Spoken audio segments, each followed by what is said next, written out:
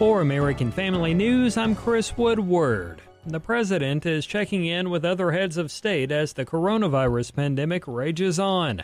Fox's John Decker has more from the White House. The White House confirming that President Trump spoke today with Russian President Vladimir Putin to discuss the latest developments and efforts to combat the coronavirus pandemic.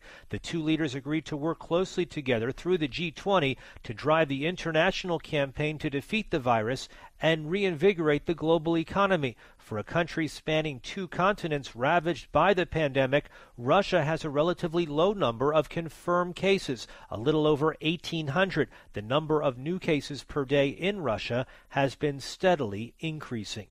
Field medical offices and hospitals are popping up throughout the U.S. Here's Fox's Jessica Rosenthal. FEMA has been organizing the building of multiple field medical facilities across the country with help from the Army Corps of Engineers and National Guard members in different states.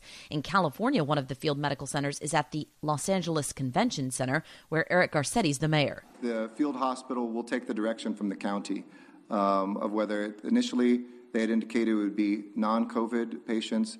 Now they're saying maybe it would be a place for COVID patients with.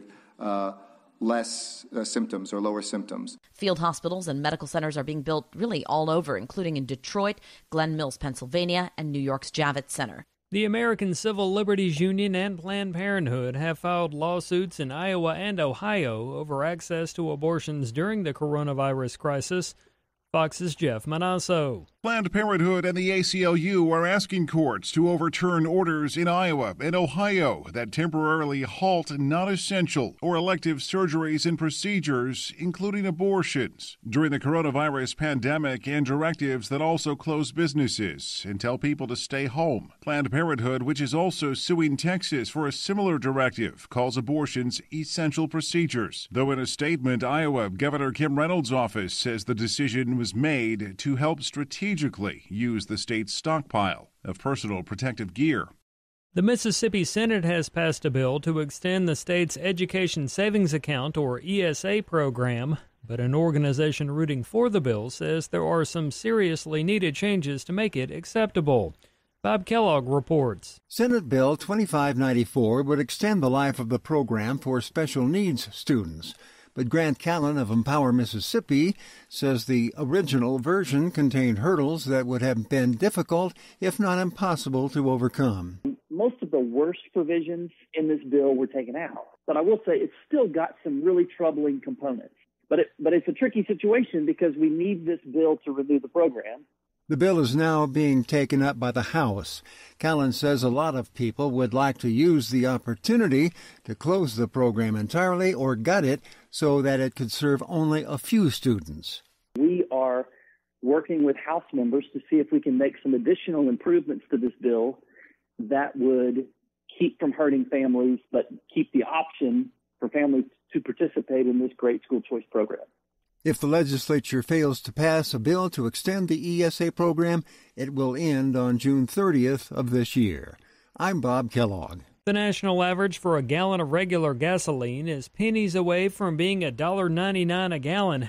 Drivers were paying an average of 244 this time last month, 269 at this time last year. In final news this hour, a wildly popular quiz app is coming back to life. Here's Fox's Kristen Goodwin. HQ Trivia making a surprise return, reportedly thanks to an anonymous investor. The live game show app, which abruptly shut down and laid off its entire staff after an investment deal fell through, is back with a new show dubbed Chapter 2. Fans receiving a push notification letting them know, many rejoicing online saying the reboot comes at a perfect time when many folks are stuck at home. Games will include a donation toward coronavirus related efforts. Find more news at onenewsnow.com. Thanks for listening.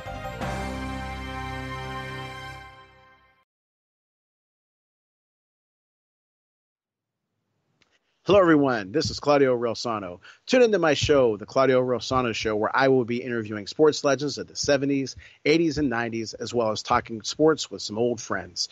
You can hear us on ClaudioReilsono.com. That's C L A U D I O R E I L S O N O dot com. And now at 4 p.m. on Fridays and 9 a.m. on Mondays at the George Espenlaub Show on Facebook.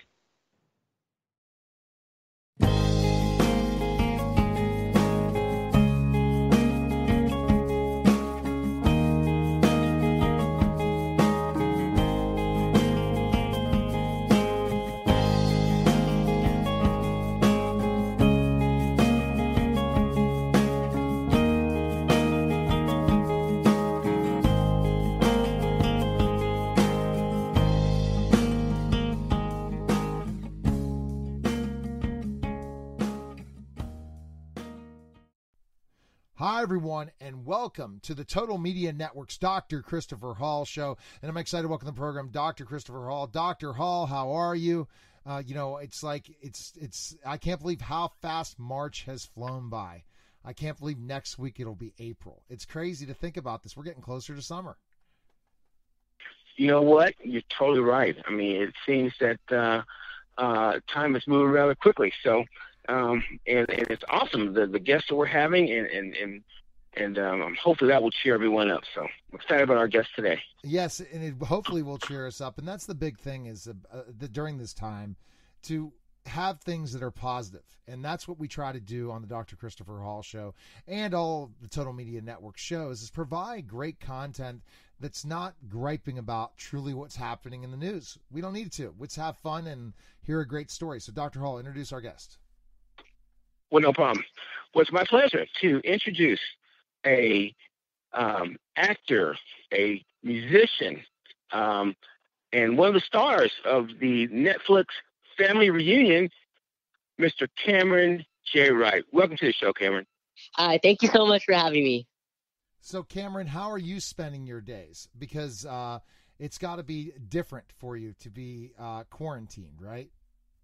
Oh yes, it's kind of like a change of pace. You're having to stay inside, not getting to go anywhere. Uh, I doing my schoolwork because I'm homeschooled, so I'm just here doing school, working on music and stuff like that, and just wishing I could be out on set. But I know it's better just to be inside and just to take things slowly right now take things slowly, take things the way we can do it. And Dr. Hall, what's really interesting, and I know you have a question for him, is that he's homeschooled. Well, my kids are being forced to homeschool because our school is sending work to them. So it depends on the school district in the country. Uh, we are going through the homeschooling route, Cameron, and you're going to find out more and more people online are being homeschooled yes. by the public education system. Depending on the school, it's not. It's let's say a state that has a mandate, they, no one goes to school, which is most schools do not every one of them are online, Cameron. So I guess you're lucky that you're being homeschooled, that you don't have to be forced into something that a system that has not been really fixed yet for public education yes. to go online. Yes, and I feel like now the whole world is like experiencing homeschool, like like like I do. So it's pretty interesting, actually. All right, go ahead, Dr. Hall, with your first question for Cameron. Well, no problem. Well, Cameron, tell us a little bit about um, kind of like where, where you're from or you know where you're living now, and um, how'd you get into um, acting? Oh, so I'm originally from a small city called Upland, and I moved out here to this area to um to Burbank to so I could be on set for a family reunion, and I've I started out with music actually, and I started out with piano, and I was I wanted to sing actually, so because I had seen someone that plays the piano and sings, so it made me want to sing too. So I started with piano, singing, and just all the music stuff, and it eventually just started just to grow and just lead into acting. So then I started getting involved into the acting world, and then I just kept working and working and working until I finally got family reunion. It was like one of the best days of my life. Wow. So was that was that a challenge when you first like first audition for things to see what kind of role you would get and kind of pay your dues in certain ways before family reunion? Oh yes, you, you just you hear a lot of no's and you just it's like a lot of hard work. You just keep going and keep going and keep going because I've actually been acting for about four to five years. So and then family reunion is like the first major acting role that I've booked. So it's just keep keeping on going and just the right opportunity will open up for you. And that's what we do talk about in the show, right, Dr. Hall, is going, dealing through adversity, regardless of the adversity, and to keep on going and not give up, right, Dr. Hall? No doubt. I mean, and, and that's very important. And, and that's kind of, you know, what, what Cameron is telling us. That, I mean, he's multi talented. Um, he is, uh, he's been in a number of movies. I know Tall Girl is one of them. And um, and so, yeah, that, that's one of the main things. Uh, and he's putting that message out to our young people to hard work and stay focused. Definitely, definitely. Where do you get that work ethic from, Cameron? To stay work? Um, yeah, just from yeah. just from family support mainly because my family has always supported me since I first started. They've they've been involved with whatever I wanted to do, so it really helps having the family support, and it really helps me just never give up. Never give up. That's our great saying here on the Dr. Christopher Hall show. Go ahead, oh, yes. go ahead, Dr. Hall. the Next question.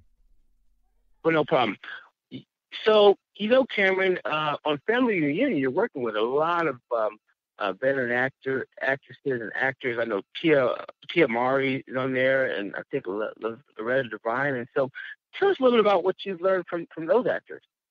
Oh, they've taught us kids so much about different acting tips, and Miss Tia, she was she told me that she was my age when she first started like acting and stuff like that, and it's really cool to get to be on the show with them and have them like kind of helping us and mentoring us like if we they show us like different techniques on how to like really dive into our characters and it really helps us a lot. So that's really great. Awesome. And, awesome. That, and that's the the great thing is that mentorship to feel confident like when you're saying lines and different things to make sure you're on point especially with the experience that some of the people in your cast have. Oh yes Oh, absolutely, and it's a, the, the, thought process. Now, when you auditioned for Family Reunion, did you have an idea of what the, the like the the premise of the show, or did you go in cold, just auditioning for a specific part? Well, we kind of just got like the little outline, just like a family moves to Columbus, Georgia, and just like the first scene they gave us was this, this crazy church scene, and we had to um when we did the audition, and that scene actually it wasn't in the show, but it was just like for like an audition scene, and it really, I really loved the show just from reading the first like just like the script, the scene that they sent for the audition. It, I could tell that it was just a, a, a hilarious show. So getting to book this show was just it was amazing. Go ahead, Doctor Hall, with your next question. Wow, that's incredible. I mean, it's so great when we see um, uh, young people uh, Cameron's age who are, are doing so much. You know, they're involved with the acting and, and singing, and um, and then you know just uh, staying focused in school. So that's just so interesting. Well, Cameron, um, tell us a little bit about. Um, you started off in music, and um, so you're still you're still doing music now, right? I mean, I think your, yes. your YouTube channel, aren't you? There's a number of your your videos there where you're singing some some, some awesome songs there. Oh yes, I do have um, my YouTube channel where I do some cover songs on there. And from those songs, right. what what is your goal in music? Um, my goal is just to um be able to release some music that everyone like loves and people could sing along, and just probably like every musician's goal is just to have people like their songs and stuff like that. Great, great uh, answer. Okay, Dr. Hall, next question. It's awesome. Well, you know what? Is there like a favorite kind of uh, inspirational song that, that you can think of, Cameron, that you like? Uh, I I love and I sing every kind of music. I love mainly R and B and like soul, like the Motown. I love Motown. That's great. How did you get uh, get into Motown? Who uh, introduced you to Motown? Wait, what was that? I said, who introduced you to Motown? Oh, my whole family, we all love music. We're a very musical family, and we all love listening to music. And my mom, she's like raised me on a lot of different music. She, I, she was always playing music, like in the car rides. Every time she would be playing music, and it was like old school music, so that I could grow up listening to that old school music. So I was familiar with all that stuff. So it was really great. All right, uh, now, Dr. Hall, that's an interesting thing. Is when we talk about passion and it seems like he's doing things he's passionate about for sure, Dr. Hall.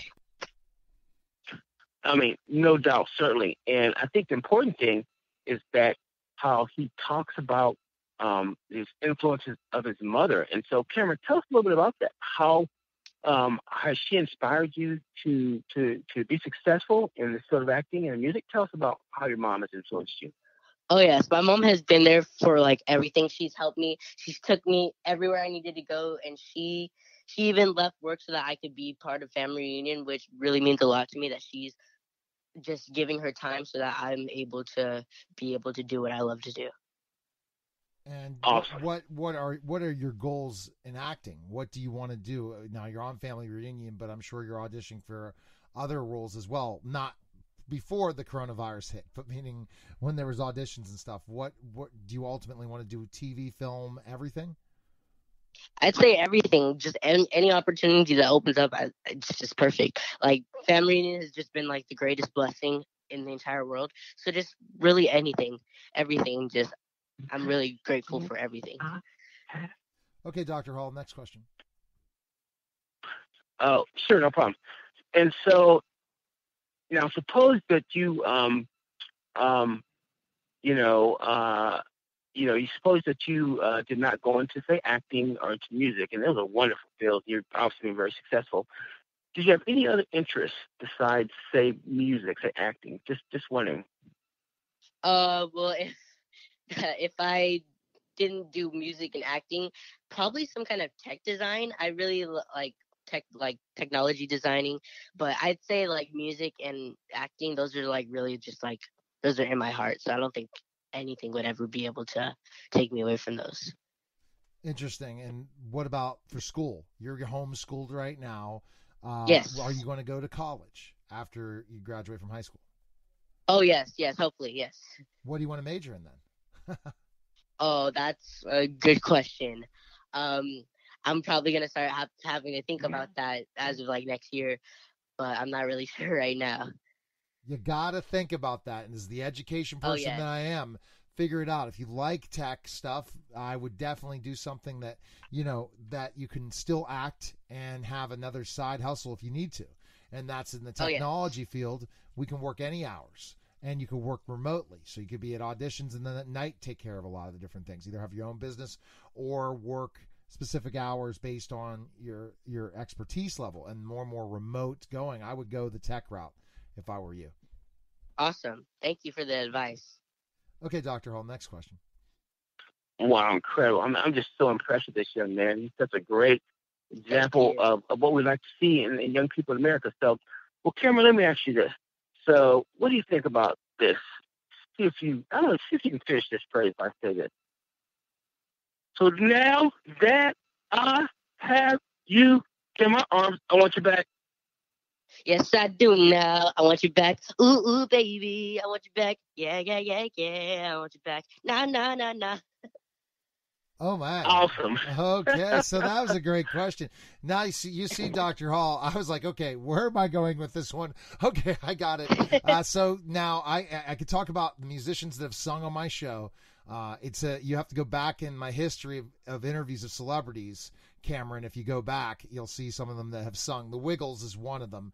I, it's funny, I, I don't remember always. Uh, the the late Lynn Anderson uh, uh, sung on um, had uh, sung on my show. Um, it just depends on who I've just asked to sing. It's so you were definitely sound great. And uh, and what do you think through your experience as an actor? Um, do you think that's going to lead to more music opportunities, opening up doors, especially with roles where you have to sing as well? Oh yes, just definitely roles have been opened up. Like, okay, so Nick Cannon, he reached out to me through my Instagram. So I'm a part of a group called a band called NTK right now, and we've recorded um a few songs, and they're hopefully going to be coming out soon this year. And we've been working on a YouTube channel and everything. So I'd say like roles have been opened up because of like the show and and everything, and just it's just it's all blessings. It's just yeah. so you use that Instagram. So did Nick know of you because of Family Reunion or just through your Instagram? Uh, I'm not sure actually, but it just whatever happened it was a blessing. So Exactly. What do you think? Have you gotten the chance to talk to Nick after that and have a conversation after he reached out to you via Instagram? oh yes, he's he was the founder of the band NCK. Oh, really? So he, when we're whenever we're in like the studio and stuff, he's always there. Whenever we're, we're recording YouTube videos, he's always there, and he's very involved in the project, which is awesome. So, Dr. Hall, there's a chance, you know, even though he's big in Family Reunion, uh, having Nick Cannon being involved in this, uh, Dr. Hall, could mean he might be a bigger music star than actor. So that's going to be interesting, Dr. Hall, to see. Well, you know, it, it, this is this is what what kind of we've seen over the years. You know, when we have these talented young people like Cameron, and they you know display their talents to the world, and and you know they're in the right place. I mean, it's just it's a prescription for success. I mean, so this is this is very exciting. I'm very excited for Cameron. Oh, thank you very much. So, how are you keeping busy, like with media? Are you doing more media now, Cameron, because you're home and not have? You know, you have still homeschooling, but are you more flexible now because you're not doing events and stuff? And Oh yes, I'm just I'm probably available anytime anyone needs because I'm just here, just see, kicking see, back. see, that's the only that's the only plus side we're dealing with right now is you know sometimes it, our, our schedules don't fit each other and i'm like okay let me reach out to specific somebody and this and that but it's just great and, and i'm glad for you Yes. and i'm excited for you and uh and with all the success and what goals do you have do you have uh you talked about you know music and all that stuff but do you have like any big goals for yourself that you've set for music and also for acting Um, probably. I mean, for acting, I feel like I have reached my goal, which my goal was to book a TV show. So being on Family Reunion has just been amazing. And I guess my goal is just to hopefully just have people like what I'm doing and have people just just like my acting, like my music and everything. And my goal is just to get to a point where I'm able to give back to the community and give back to everyone that's like maybe not as fortunate and doesn't have everything they need to really build like a successful career. So like hopefully with with music I'd be be able to like open something up where I could give like instruments and just help help kids that want that this is their passion but they don't really have enough to be able to start it. So just to give people like a kickstart. So you want to give back, especially when people like Nick Cannon give you an opportunity. People like Family Reunion gives you an Yes. opportunity. The bigger and bigger the star you become, the more you want to give back. And I love that because again, we all at one point in time were in a lower position. You know, we were just we're starting out. Um, and I look at that all the time in any of the industries I'm in, and I, I don't look at people and say, "Well, you know what? That, I'm not gonna give them a time of day." It cracks me up when I hear people say, "Well, I won't go on this show because of a certain size of it," or "I won't go do this because it's not as big." Well, you never know where those people are going to end up someday, and that's Exactly. that's where we have to look at things, and it's all about our passion and getting our getting our message out. So, Dr. Hall, summarize Cameron. I know you're very impressed, Dr. Hall, and uh, it, he's a really impressive guy.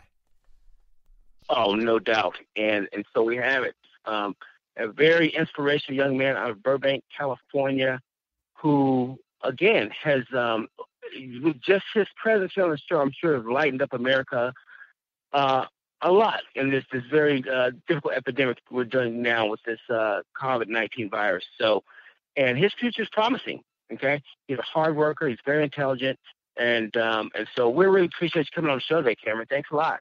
Thank you so much for having me. Now, Cameron, where can we follow you and stuff, and especially when we're going to follow your music? Because I'm sure, like you said, right now, Nick and you guys are in the studios getting things together Yes. before this is going to blow up at one point in time with Nick. I have a feeling. Everyone can follow me on Instagram at the Cameron J Wright. All right. All right. Well, I appreciate you coming by. Best of luck. Thank you so much uh, for having me. And I hope again you, we end this coronavirus and we all could be back yes. doing the things we need to do. But we're dealing with it. I call it week two of quarantine, uh, week two of school because Pennsylvania took a little longer to have that be under house advisement, and you guys are. I think it was 15 days. So let's see if we survive, and then we're not sitting down Oh, three, yes. three weeks from now saying, Neil, I want to talk to you again because I'm stuck in my house and I need to talk to somebody. And that's what we're running into. But I appreciate it. Very, very articulate and very, very great interview and great job, man, young man. Thank you so Appreciate it. much. Thank you. Hey, Appreciate, Cameron. appreciate you coming on. Thank All right, you. Take care, guys. All right, that was All the, right, that was you. you're welcome. That was the Dr. Christopher Hall show, everyone. Hi, everyone, and welcome to the Total Media Network's Dr. Christopher Hall show. Uh, Dr. Hall, how are you? And uh, excited to chat with you today.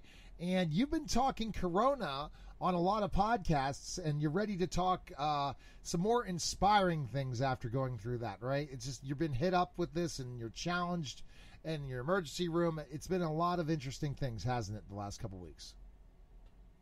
No doubt, no doubt. It's um, you know still a very it's just sort of a evolving situation, and um, so it's very exciting to to have a very exciting guest today, and I'm very um, happy to uh, get started talking about him, talk and to talk to him. Yeah, and I, I love mysteries and I love crime, and I, I'm not I don't want to commit crimes. However, I love that kind of thing, and he's a journalist as well, and he it's gonna be a very interesting conversation. So go ahead and introduce our guest. Well, no problem.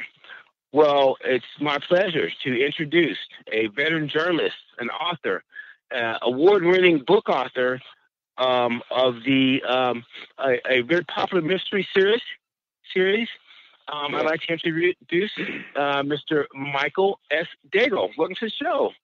Thank you very much. I appreciate your time. It's uh, wonderful to have a chance to talk to you. So, Michael, how are you holding up? I always ask every guest. I've asked so many celebrities in the last couple weeks how you're holding up with the coronavirus. I, those stories, this will all go in the history books because it'll never disappear. This interview, 20, 30 years down the line. So the question is, how did you? How are you dealing with the coronavirus?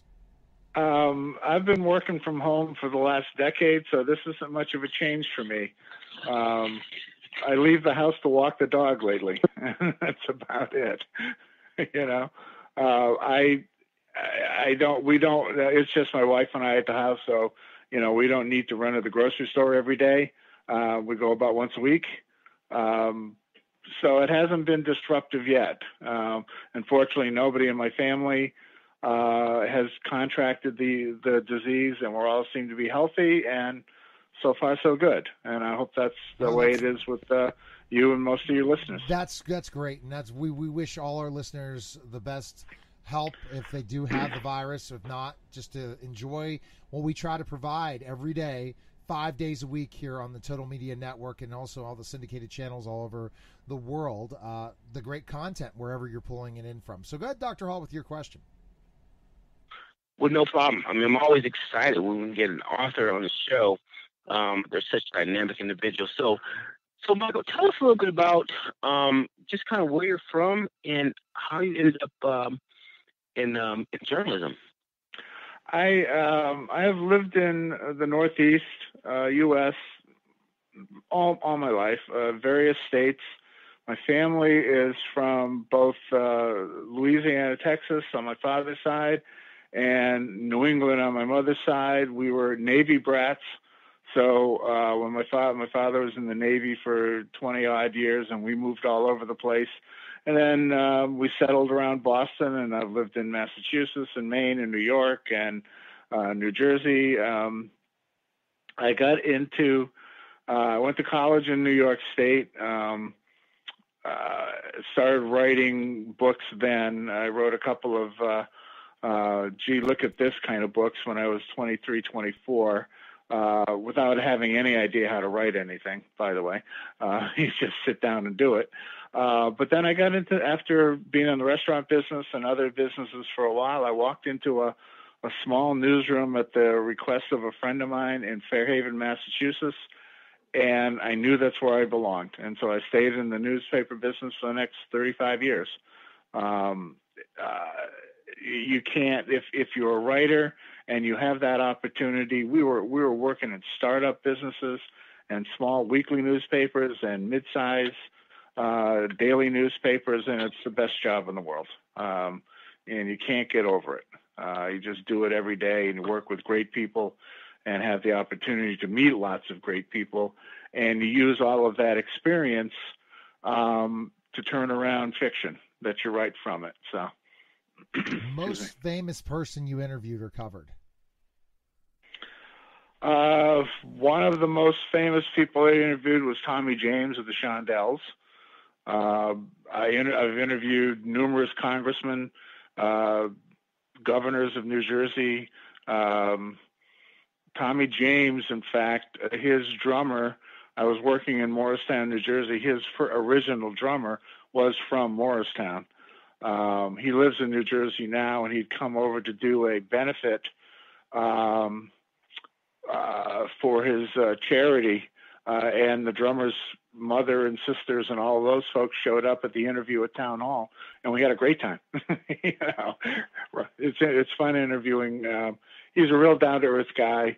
Worked really hard in his business, you know, and and he like all like many of the um, uh, rock and rollers are astounded 40 years later he's still doing it you know um, but uh, you know i mean part of my job as uh, cover, covering environment and government and all of that was interviewing you know people in a high elected office. Um, so there's a long list of folks. It's always interesting to be a journalist and i look back at my days of uh, the people i've interviewed and what i've learned. It's just amazing. All right dr hall next question for mike. No problem, no problem. Well, you know, it's been my experience that a lot of authors and journalists sometimes, you know, uh, what they write about are sometimes um, sometimes things that influence their life. And um, I know this particular series, and I think this current book, the um, is it the Red Hand? Is that correct? Yeah, the Red Hand is the latest one. Yes.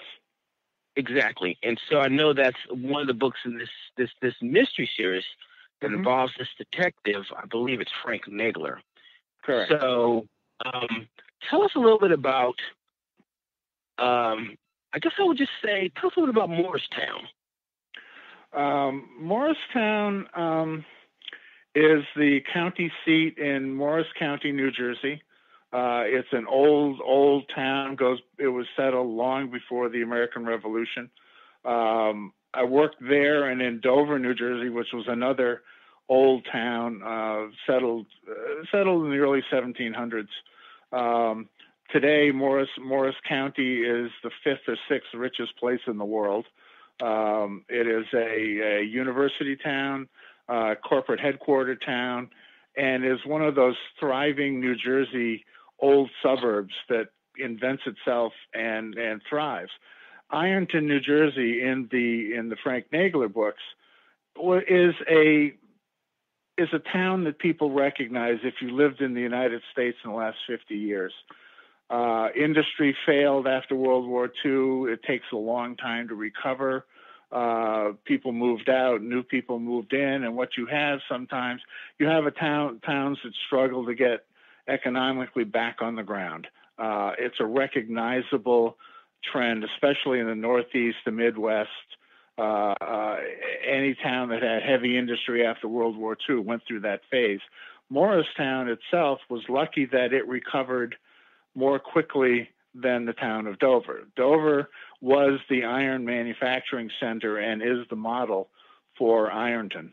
Uh, it was an, uh, in the 1800s, uh, it was called the Pittsburgh of New Jersey. Um, a fabulous iron mining and manufacturing business that generated millions and millions in wealth that's still in effect that the industry's gone but the money's still there today so. That that's so interesting. So i'm familiar with Morristown, morristown new jersey because my sister-in-law's husband uh, was a, at dental school in uh, and then did an internship in Morristown. So they okay. know that story of Morristown and the, the wealth and the. But I remember always driving by Morristown to drive to New York City to the National Publicity Summit when I've attended as a member of the media about 7 mm-hmm. times, three or four times, and I'd do the whole drive from from uh, Pittsburgh to all the way to New York City and passing Morristown. So yes, it's a sure. it's a definite area. But what's really weird about Morristown uh, Chris, is the fact that around it there's not there's some very poorer towns around it, right? That's the yeah that that's straight that that's an interesting uh, place where you have such wealth and then just drive a couple miles down the road and you're in a different environment. Yeah, in the starting excuse me, starting in the 70s when suburbia took over uh, North Jersey. Um, uh, towns like towns like Dover struggled. Uh, they did not have like the actual landscape to attract um, uh, lots of new residents. A very small town. Um, and historically, it, it's interesting because up until probably the 60s, um, the two power centers in Morris County were Morristown, where the money was, and Dover was where all the factories were. Uh, over time, Dover became uh, a, a, sort of a poor town because the factories disappeared. Um, and it took a long time for them uh, to get going again. They have lots of, and I use this, the buildings as a setting in the novels. Um, they have lots of infrastructure, but they didn't have anybody want to come in because it was in pretty bad shape. It took big investment by numerous uh, people uh, and companies to get some of these factories back into operation as something else. Um, but it's a it's it's the story of many many many towns and cities uh, in our country. Uh, your industry goes away, your jobs go away, suburbia takes your people away, and you have to figure out how to survive. And that's part of the story of Ironton. That's part of the story of Frank Nagler in all the books and especially in the Red Hand because it's the the the one that puts all of that in place. All right, Dr. Hall, next question. Wonderful, exactly. So that's kind of what um, kind of what we're getting at is this um, town Ironton that we see in this mystery. Mm-hmm. And again, you said, you know, it's kind of like again uh, the fact that uh, industries uh, go away, and it's very descriptive in the novels, and therefore we see that what can occur in this case is, is we can have uh, say politicians who can come in and, and, take advantage of this situation and then we have uh, crime that, that arises. So tell us a little bit about that. Tell us a little bit a little more about Ironton and and um, i guess about uh, frank nagler the central character. Um, frank I, I wrote the first novel in this series back when I was like 23 or 24. It was actually what became the second book in the series, a game called Dead. Um, but Frank, uh, Frank is a, and when I moved to New Jersey and and um, began working on the story, I moved the story to uh, to Ironton because I had done research on the old iron industry, and I saw here was a place I could anchor this story. So Frank uh, is the son of a factory worker and an iron miner. Uh, his grandfather worked in the mines. He grew up in what I call the workers' ghetto.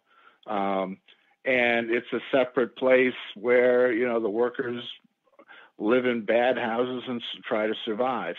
And it's part of the trend, uh, the long story arc in these books of setting the haves against the have nots. And Frank is a have not, and that drives his police work because he thinks the people of the town deserve better.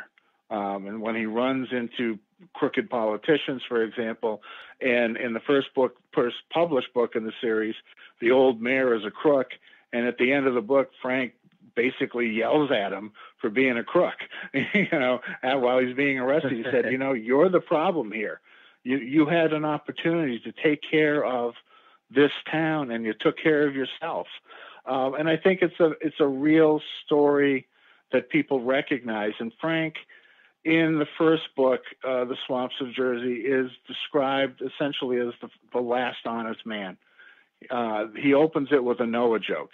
Um, he's driving down through flooded streets, and he asks himself, you know, what would the ancients do with a with a rainstorm like this? And he kind of laughs and goes, "Well, they'd craft a story about a guy in a boat and talk about the wages of sin, um, then they'd get out of town.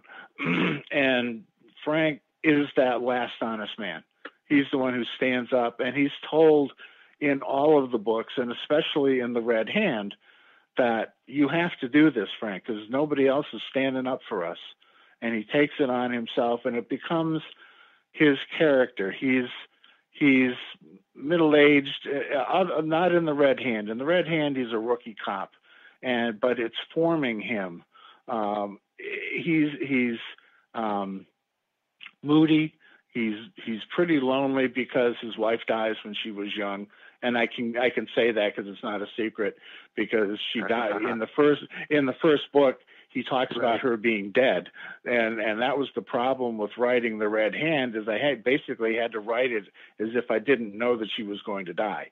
Um, the hardest thing to do as an author is to write a book where you actually know everything that's going to oh, happen. Oh, yes. yes. you know? Without um, spoiling it. So, right. yeah. yeah, you know, because I'm, I'm sitting there telling the characters what to do, when to say it, when to do it, and I, it was I was it took me six months to figure it out. And I, I ran into a guy at Philadelphia at a book show. He was a music producer and we were talking. His wife was selling books there. And I took a break, and he asked me what I was working on. I said, you know, I'm having a problem with this this story. I can't. I know it. Uh, I know it too well. And he said, you know, my guys come into the studio with a with a hot new sheet of music, and they can't play it. So I take the sheet away, put them in a, uh, a practice room for half an hour, and then bring them back out and they can play it. He said, Your problem is you're overthinking it and you're trying to tell your characters what to do. Just write the story. And I thought about that on the way home, and he was right. And that's exactly what I was doing. Um, I wasn't writing the story, I was sort of dictating the story. Um, and that's the worst thing you can do because it was it was awful. you know? Now, now so let- I had d- definitely thinking about uh, Frank versus you. How much Yeah. is he you? Very little, very little. I thought of Frank Nagler when I was 23 years old. I knew nothing about police work and I knew nothing about writing a book. He's mostly he's a made-up character. Um, I understand his. Um, I understand him being an outsider because that and that comes from moving around a lot as a kid. I was always the new kid in school. Um, but Frank refines that as um, as somewhat of the outsider and the the um, the issues with his wife uh, make him very much of a loner, but it also gives him a, a, an edge, a moody edge that helps his police work. And he he's grief stricken uh, for all of these books, and that's something that I have to fix in the next one because five books of grief strife of grief strife is a little too much. Uh, but he's he's pure imagination. Uh, I, I, you know, when I got out of college, I didn't know any cops unless they'd stop me for pulling me over to give me a ticket. Um, I didn't know how to write a book. I didn't know how to anything about police work. But I sat down and said, "I bet I can write a police mystery," and I did. Um, took a while to get it right. You know, it took it, it took a while to get it Yeah. right, but eventually got better. You know. All right, next question, Doctor Hall, for Michael. Well, no problem. And it, it appears that, you know, again, Frank Nagler is this heroic figure. He's had some, um, like you said, some pains in life, that, you know, the death of his wife. Um, he ends up in a situation where um, he, um, I mean, all the weight is on him, okay? Yeah. And um, who can he turn to? And so what I was wondering was, are there any real characters in life that you see, uh, even throughout history, um, that um, Frank would uh, be very similar to? Um, it, the, the yeah, I, there there are a lot of characters who are thrust into um, important and leadership roles in their life simply because they happen to show up at the right moment. Um, the part of the background on this story actually is uh, John Updike's Rabbit series, the Harry Angstrom uh, books. Um, he he carries around a lot of guilt and angst in his whole life. And what I thought of when I was writing um, Frank Nagler and Ironton is I use that model um, for the relationship between Frank and the town. Uh, the ups and downs that, that take place in Ironton uh, is also reflected in Frank's character. Um, you know, um, subconsciously, did I borrow from somebody's story that I had read? Probably. I mean, there are a lot of heroic people who show up at the right time.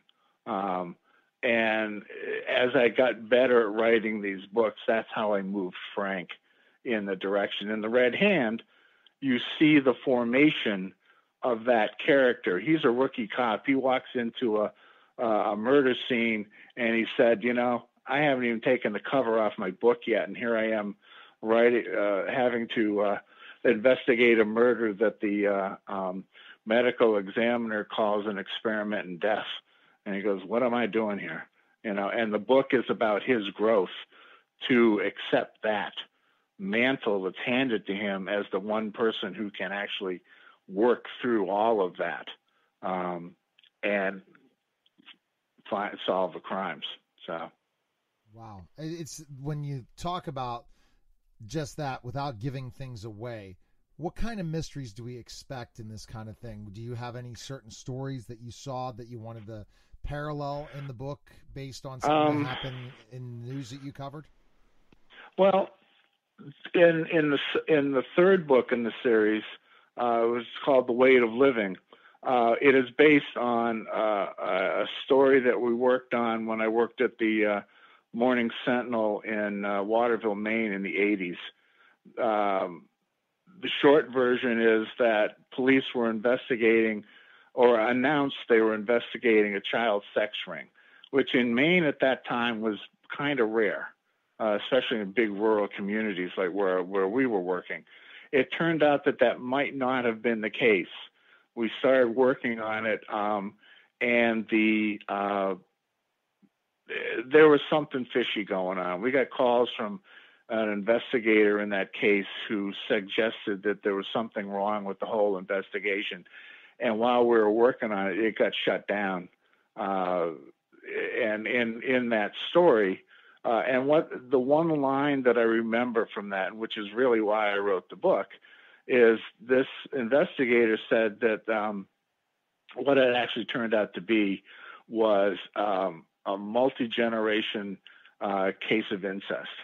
Um, and the uh, investigator, the one line the investigator said that stuck with me all these years was one of the young victims in that ring was taken to a psychiatric hospital in Pennsylvania where they reconstructed her personality. Um, oh wow! I, I, I gave I, I, I was talking to um, an old family friend who's a psychologist, and he said, you know, strictly speaking, that's not true. You can't do that. And I said, yeah, I understand that. I said, but you know, as a as a fiction writer, what a place to jump off into a story. Um, but most of these other, most of the other, crime, I mean, in in um, in the Red Hand, the the the main criminal is Charlie Adams. He's a he's a kid um, serial killer. Um, uh, he the two things happen in the town. He goes around killing lots of people, and they can't catch him. But the story is also about the terror that that killing spree raises in the town. There's lots of there's lots of crowd scenes and lots of people running around beating up people who they think is the bad guy, and there's um, you know street riots and all sorts of stuff. Um, but you know, and he's you know I didn't do any psychological studies of of uh, serial killers, but there's plenty of general information out there. And what I wanted to do with him was just really strip him down to sort of a, a basic character without delving deeply into whatever his uh, sincere problems were. He showed up in the first version of a game called Dead.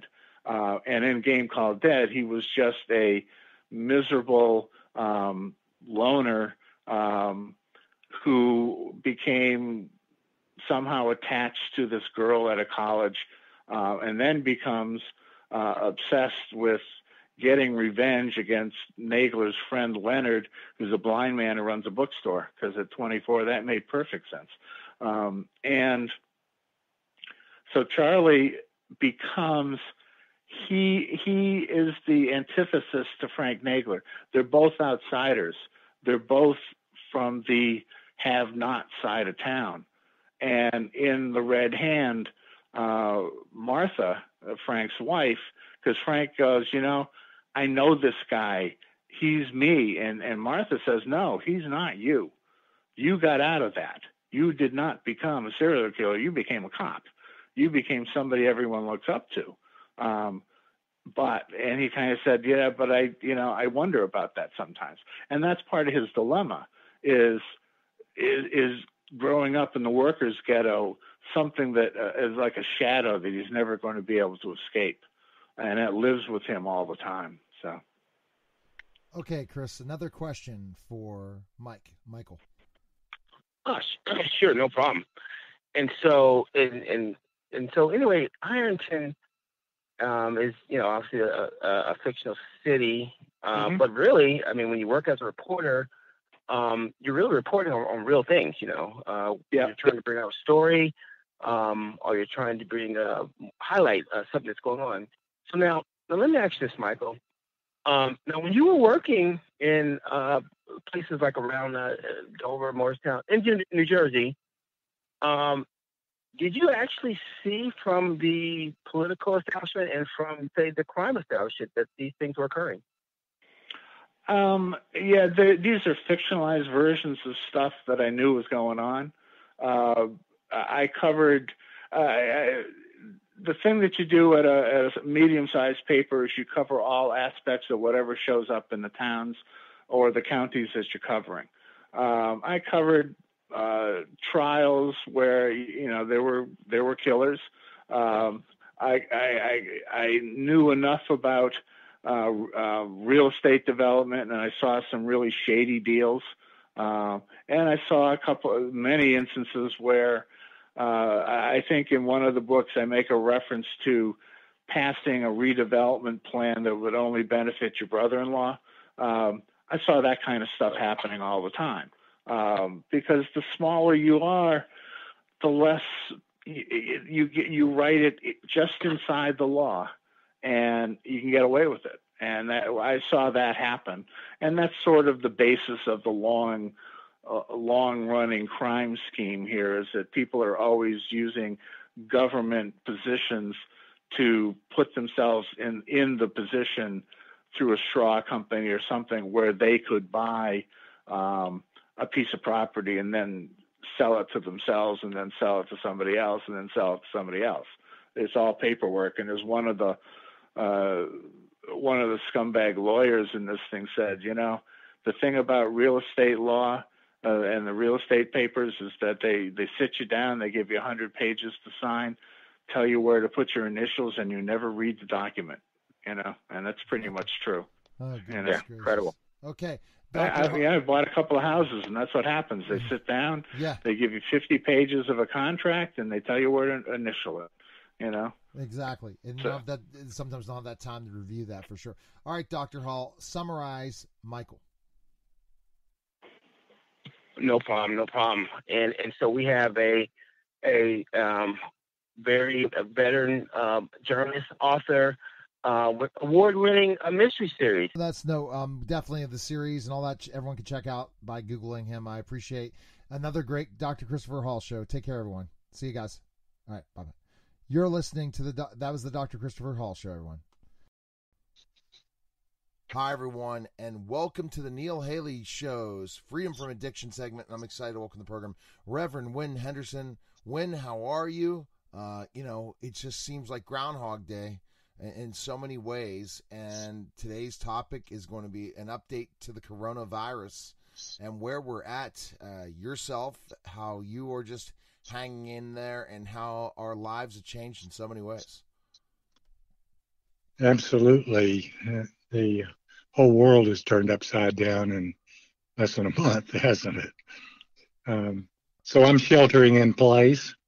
It means I'm only going out for groceries or something really important, and it gives me more time to think about what's happening and to be able to talk to you and other people. So that's that's a positive. Oh, it's it absolutely is a positive, and it's something that you know we um, we have to ch- try to look at in, in so many ways, and look at how people are going to act differently, how different responses in our daily routine are going to be thrown off, uh, how people that we deal with on a regular basis are going to fly off the handle, to uh, just different the, the way we interact as a society has changed in just a short period of time. I, I think that if we were attacked by a military opponent, that there would be less confusion and fear than by this virus.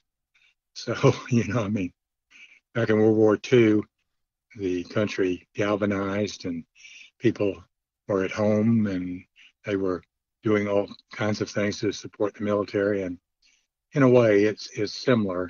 It's an attack, but we don't have a, a known attacker in this particular case. No, we don't. We definitely don't have an unknown attacker, and the unknown and uncertainty. If you, and this is the point I'm going to make in this, and then I want to hear what your take is. I think this is more of a conversation for your podcast and my uh, nationally syndicated radio show. Is the simple fact that um, we hear different things. We hear our president talk about we're going to open up on Easter Sunday.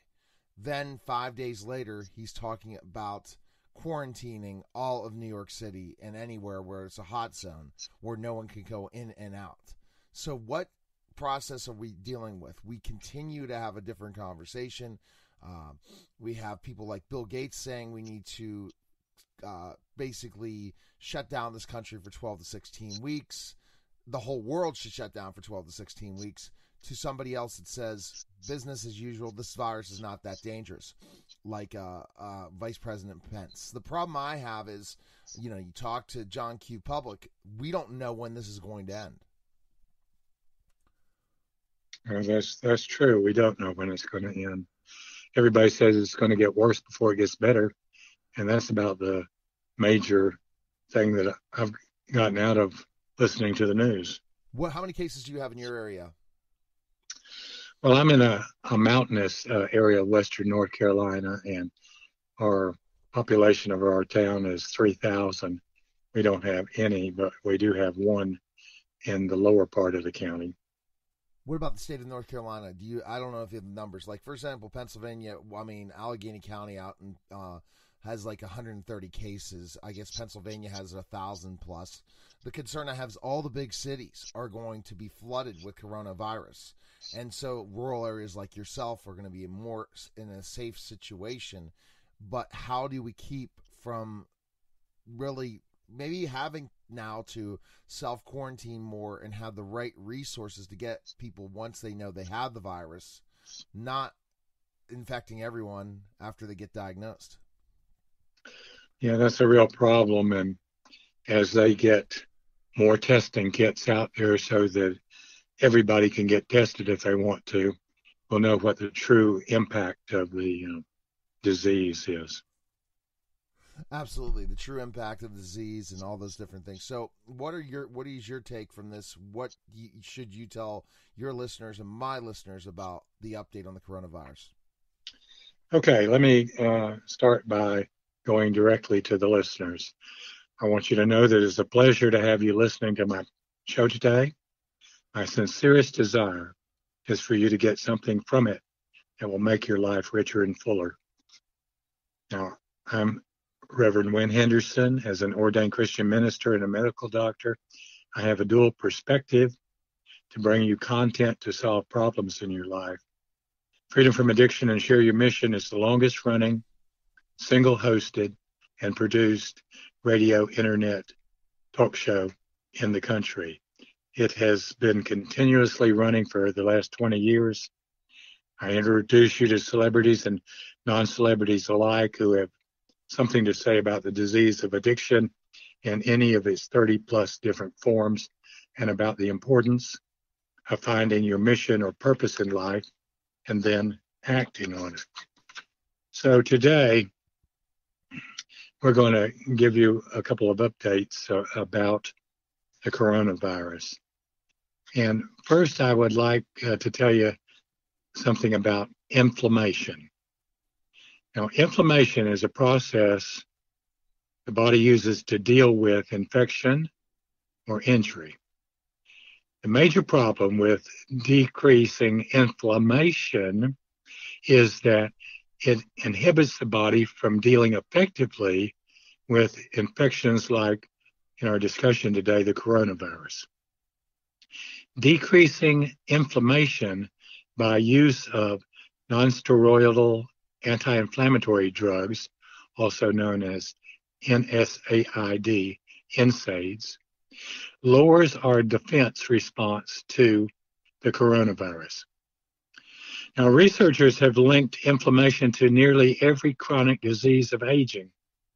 Chronic inflammation is a slow creeping condition caused by misfiring of the immune system that keeps your body in a long term state of high alert. When cells are in distress, they release chemicals that alert the immune system. And then white blood cells rush to the scene where they work to eat up bacteria, viruses, and damaged cells from infection or injury. It is often chronic inflammation and not the viruses themselves that cause much of the long term damage. Obesity, unregulated stress, tobacco use, alcohol use, lack of physical activity, poor sleep, and poor diet are all linked to chronic inflammation. And the big four for treating chronic inflammation are food, sleep, stress release, and exercise. The difference between someone feeling okay and feeling great is often the exercise. Now we'll get into a report that people are talking about that was on the internet recently. The French health minister put out a report saying ibuprofen might be harmful in the treatment of coronavirus, but this is theoretical. Nothing has yet been proven scientifically with a randomized double blind study. The World Health Organization is not aware of scientific randomized double blind studies dealing with the effect ibuprofen would have on the coronavirus. Some other health experts say that NSAIDs could weaken the immune system when taken in connection with an active infection.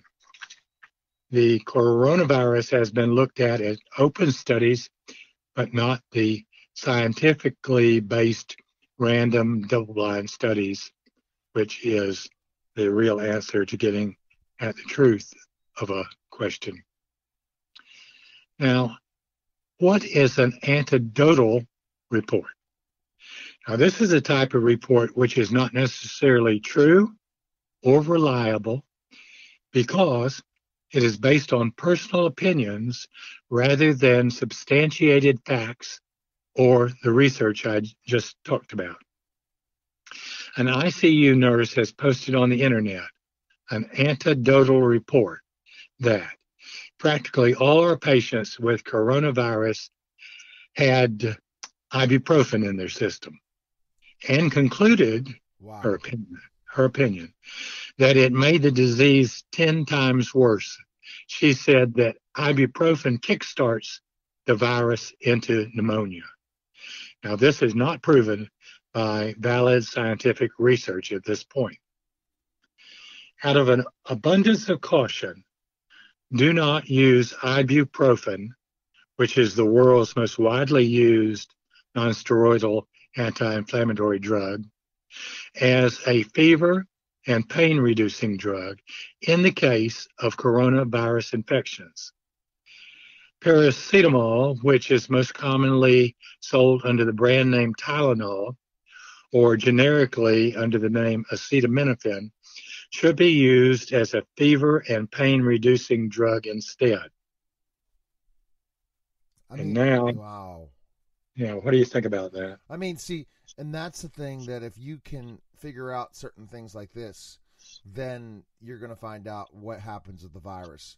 I think one thing we have to look at the United States, the number of cases. Let's look at the number of deaths versus other countries. Uh, when and then let's have a talk. We all want to push, oh, we have more cases, almost more cases than Italy or all those places. Well, we have more population, first of all. And second of all, what about deaths? And so let's look at the most important thing how many people are dying? And if we could decrease the people who die, that should be the numbers that we should look at in the next two to three months. So, with that story about ibuprofen, even though it's not scientifically based on a study, it still is something to keep in your mind about if you've got an alternative drug that doesn't have this report and is not an NSAID, why not use it? It only makes sense. Exactly. It's a great point. It's a great topic, and it was perfect for the Neil Haley Show's Freedom from Addiction segment. People could check you out at RevWinHendersonMD.com. There, they can check out all the different resources they have available and all your social media channels. They can check you out as well, and uh, it's great resource involving ibuprofen. So, your recommendation: don't take it. If you have a fever or something, take Tylenol until this crisis is over. Now, Neil, I've got one other thing I want to tell you. Sure. I got a postcard from the government, um, and it came in yesterday if things change so quickly, uh, it was printed March 16th. But it says President Trump's coronavirus guidelines for America. And I want to tell you what those guidelines are, since you may have been getting them bits and Hello, everyone. This is Claudio Reilsono. Tune into my show, The Claudio Reilsono Show, where I will be interviewing sports legends of the 70s, 80s, and 90s, as well as talking sports with some old friends. You can hear us on ClaudioReilsono.com. That's C L A U D I O R E I L S O N O.com. And now at 4 p.m. on Fridays and 9 a.m. on Mondays at the George Espenlaub Show on Facebook. The swinging 60s. The swinging 60s. The swinging 60s. The swinging 60s. The swinging 60s show with Harry Byrne on, on Spreaker.com. Hey, this is Harry over here in Ireland. Welcome you to the swinging 60s show. Sunday evenings, 2000 hours GMT. I will play Beatles, Kinks, Beach Boys, Carpenters, Everly Brothers, lots of classic oldies. We have quizzes. We have all things going on here. So Google the swinging 60s show. Be heard. Come into the chat room.